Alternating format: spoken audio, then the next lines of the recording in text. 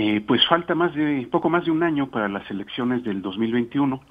Estas elecciones tendrán una peculiaridad quizá desconocida para muchos.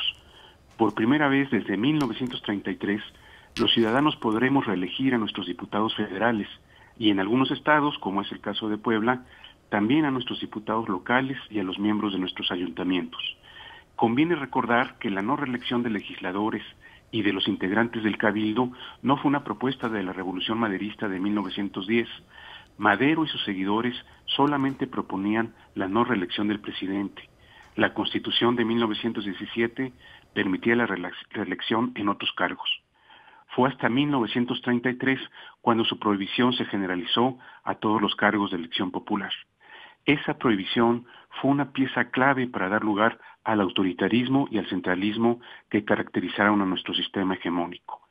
La reelección inmediata y en la misma Cámara, hay que subrayar, inmediata y en la misma Cámara, puede dar lugar al menos a tres bienes públicos. Primero, la rendición de cuentas a la ciudadanía. Quienes quieran reelegirse tendrán que pedir el voto a sus electores y tendrán que presentar las razones para su reelección.